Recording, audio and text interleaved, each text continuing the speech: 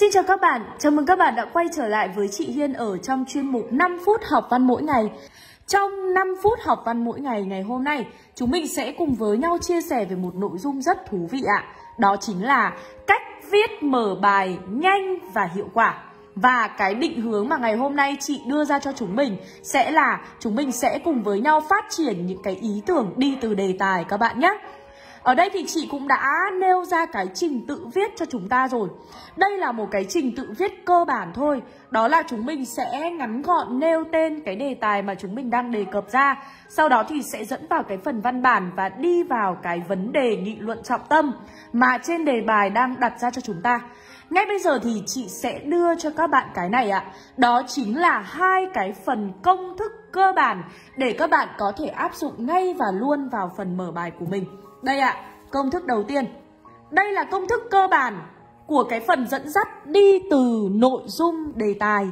Có thể thấy rằng là nói về mở bài thì chúng mình sẽ có hai hình thức là mở bài trực tiếp và mở bài gián tiếp. Đối với cái dạng mà chúng ta viết hình thức là bài văn thì mở bài gián tiếp bao giờ cũng sẽ là cái lựa chọn tối ưu nhất cho chúng mình. Thế nên là chị nghĩ rằng là các bạn cũng nên à, thay đổi những cái phần dẫn dắt bởi vì chính những cái phần dẫn dắt đó sẽ tạo ra cái sự đặc biệt cho mở bài của các bạn. Hãy chú ý giúp chị này, công thức của mở bài gián tiếp sẽ là dẫn dắt cộng với đặt vấn đề. Trong phần đặt vấn đề chúng mình phải nêu ra được, vấn nêu được vấn đề nghị luận cùng với đó là cái phạm vi phân tích. Thì ngày hôm nay, chị Hiên lựa chọn một cái cách dẫn dắt đó chính là đi từ đề tài. Và bây giờ sẽ là cái công thức cơ bản cho cái cách dẫn dắt từ đề tài các bạn nhé. Chúng ta sẽ có trong nền văn học Việt Nam, các bạn có thể cụ thể hóa hoặc là thu nhỏ cái phần phong trào văn học hay là cái giai đoạn văn học mà các bạn muốn đề cập đến để thể hiện rằng là chúng ta hiểu biết tường tận về cái tác phẩm mà chúng mình đang đề cập, được không ạ? Thì ở đây chúng mình có có thể là trong nền văn học Việt Nam hiện đại, có thể là trong nền văn học Việt Nam trung đại, có thể là trong nền văn học kháng chiến, ví dụ là như thế. Cộng với tên đề tài sau đó có phần dẫn dắt không biết từ bao giờ đã trở thành cội nguồn sáng tác cho biết bao người nghệ sĩ. Tiêu biểu trong số đó, cũng hoặc là chúng mình có thể diễn đạt khác, cũng là một trong những cây viết để lại ấn tượng ở mảng đề tài này, không thể không nhắc đến cộng với tên tác giả cùng với cộng với tên tác phẩm và sau đó dẫn vào vấn đề cần nghị luận. Chị sẽ lấy một vài cái ví dụ đơn giản để các bạn có thể thấy là đây là một trong những cái công thức cực kỳ nhanh và hiệu quả nhé. Ví dụ một như sau. Chúng ta sẽ có đó là về 14 câu thơ đầu, phân tích 14 câu thơ đầu trong thi phẩm Tây Tiến của nhà thơ Quang Dũng như sau. Trong nền văn học Việt Nam hiện đại, người lính không biết từ bao giờ đã trở thành cội nguồn sáng tác cho biết bao người nghệ sĩ, đặc biệt trong mảng thơ ca kháng chiến. Tiêu biểu trong số đó không thể không nhắc đến nhà thơ Quang Dũng cùng với một thi phẩm đánh dấu tên tuổi của ông, bài thơ Tây Tiến chấm. Bài thơ này đã để lại ấn tượng sâu đậm trong lòng bạn đọc về hình ảnh người lính Tây Tiến, đặc biệt qua 14 câu thơ đầu tiên với những hành trình gian khổ trong khung cảnh thiên nhiên miền Tây. Ví dụ như thế. Được không ạ? Rất là đơn giản đúng không? Các bạn hoàn toàn có thể áp dụng ngay và luôn.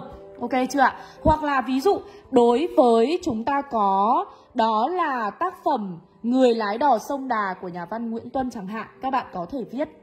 Trong nền văn học Việt Nam hiện đại, những dòng sông không biết từ bao giờ đã trở thành cội nguồn sáng tác cho biết bao người nghệ sĩ. Tiêu biểu trong số đó không thể không kể đến Nguyễn Tuân cùng với tùy bút Người lái đò sông Đà. Và để lại ấn tượng trong tùy bút này là hình ảnh ông lái đò mang trong mình vẻ đẹp mưu trí, dũng cảm, đồng thời cũng toát lên phong thái nghệ sĩ. Được không ạ? Ví dụ là như vậy. Ok chưa nào? Đây là công thức cơ bản. Ngoài cái công thức cơ bản này thì nếu như dẫn dắt từ đề tài, chúng mình cũng có thể tham khảo một cái công thức nâng cao hơn nhé. Và đây chính là công thức nâng cao của chúng mình mà chị muốn giới thiệu trong ngày hôm nay. Đối với công thức nâng cao này thì chúng mình có thể trích dẫn một đưa ra một cái phần trích dẫn liên quan tới đề tài. Ví dụ là chúng ta có phải viết một cái yêu cầu phải viết về người lái đò sông Đà của nhà văn Nguyễn Tuân đi Thì các bạn có thể đưa ra một cái trích dẫn ví dụ Ai đó đã từng nói rằng, đất nước có nhiều dòng sông nhưng chỉ có một dòng sông để thương để nhớ. Giống như cuộc đời của mỗi con người có nhiều cuộc tình nhưng chỉ có một cuộc tình để mãi mãi mang theo. Hoặc là, các bạn có thể đưa ra một cái trích dẫn ở trong cái trường ca mặt đường khát vọng của nhà thơ Nguyễn Khoa Điềm. Ôi, những dòng sông bắt nước từ đâu mà khi mà khi về đất nước mình thì bắt lên câu hát. Sau đó chúng ta bắt đầu đưa phần này vào ạ trong nền văn học Việt Nam hiện đại, trung đại hoặc là ờ, trong nền văn học kháng chiến vân vân được không ạ? À, cộng với tên đề tài ở đây cụ thể là gì ạ? Trong nền văn học Việt Nam hiện đại Đề tài những dòng sông không biết từ bao giờ đã trở thành cội nguồn hoặc là trở thành khoảng trời rộng mở cho những người nghệ sĩ thăng hoa. Ta đã từng bị ấn tượng bởi tên tác phẩm 1 cộng với tác giả 1.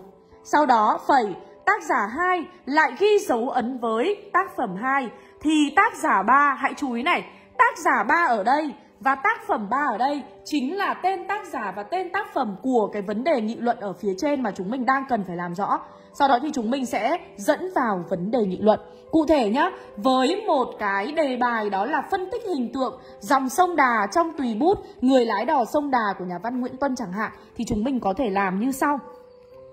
Ai đó đã từng nói rằng Đất nước có nhiều dòng sông nhưng chỉ có một dòng sông để thương để nhớ. Giống như cuộc đời của mỗi con người, có nhiều cuộc tình nhưng chỉ có một cuộc tình để mãi mãi mang theo. Và dòng sông để thương để nhớ của mỗi người rất khác nhau. Các bạn có thể dùng câu đó hoặc có thể dùng câu là gì ạ? À, quả thực là như vậy. Trong nền văn học Việt Nam hiện đại, đã từng có rất nhiều những người nghệ sĩ trở đi trở lại thể hiện cảm xúc tình yêu của mình gắn bó với những dòng sông quê hương đất nước. Chấm. Và đề tài những dòng sông không biết từ bao giờ đã trở thành cội nguồn cho những sáng tác để người nghệ sĩ thăng hoa. Chấm. Ta đã từng bị ấn tượng bởi dòng sông đuống nghiêng nghiêng trong kháng chiến trường kỳ của nhà thơ Hoàng Cầm. Hay Hoài Vũ lại ghi dấu ấn với con sông vàm cỏ tha thiết trở phù sa. Thì đặc biệt, nhà văn Nguyễn Tuân đã để lại những cảm xúc trong bạn đọc bằng nhờ gì à, à dòng sông Đà trong tùy bút người lái đò sông Đà và để lại ấn tượng trong lòng bạn đọc là một con sông Đà mang trong mình hai vẻ đẹp đối lập, vừa hùng vĩ hung bạo, vừa thơ mộng trữ tình. Ví dụ là như thế nhá. Hoặc là cũng về cái tác phẩm đấy, các bạn có thể lấy cái câu thơ à nhà thơ Nguyễn Khoa Điềm đã từng viết trong thi phẩm của mình. Ôi những dòng sông bắt nước từ đâu Mà khi về đất nước mình Thì bắt lên câu hát Quả thực là như vậy Hình ảnh những dòng sông Không biết từ bao giờ Đã trở thành cội nguồn cho những sáng tác Và kể từ ấy Tác giả có nguồn cảm hứng Để cất lên những câu hát của riêng mình Đối với nhà thơ Tế Hanh Đó là một dòng sông sóng Là một dòng sông trong mát đôi bờ cát trắng à, chúng ta cũng thấy được trong thơ của hoàng cầm là một dòng sông e ấp bâng khuâng đầy tâm trạng còn khi đến với xứ Huế mộng mơ, qua những trang viết của Hoàng Phủ Ngọc Tường, ta lại bắt gặp một sông hương đầy thơ mộng trữ tình qua ai đã đặt tên cho dòng sông. Đặc biệt, nhà văn Nguyễn Tuân, một người nghệ sĩ ghi dấu ấn với vẻ đẹp tài hoa uyên bác ngông nghênh và kiêu bạc đã đi thẳng vào trái tim bạn đọc bằng hình ảnh sông Đà, qua tùy bút người lái đò sông Đà của ông. Để lại ấn tượng trong tùy bút này là hình tượng dòng sông Đà mang trong mình vẻ đẹp, vừa hùng vĩ, hung bạo, vừa thơ mộng, trữ tình. Được không ạ? Các bạn ơi thì à, đấy là những cái phần liên quan tới nội dung mà ngày hôm nay chị muốn chia sẻ cùng với các bạn về những cái công thức liên quan tới cách viết mở bài nhanh và hiệu quả. Các em ơi, các bạn có muốn là chúng mình sẽ có thể xử lý cái phần mở bài này thật là nhanh không? Chị hẹn gặp các bạn ở trong khóa học luyện đề chuyên sâu của chị khai giảng vào tháng 1 năm 2022 này nhé. Rất hy vọng rằng là sẽ được gặp các bạn ở trong khóa học này, bởi vì đây sẽ là một khóa học mà chúng mình sẽ chia sẻ với nhau cực kỳ cực kỳ là nhiều những cái phần kiến thức bổ ích đấy. Còn bây giờ thì cho chị gửi lời chào và tạm biệt tới tất cả các bạn. Hẹn gặp lại các bạn trong chuyên mục 5 phút học văn tiếp theo nha. Bye bye.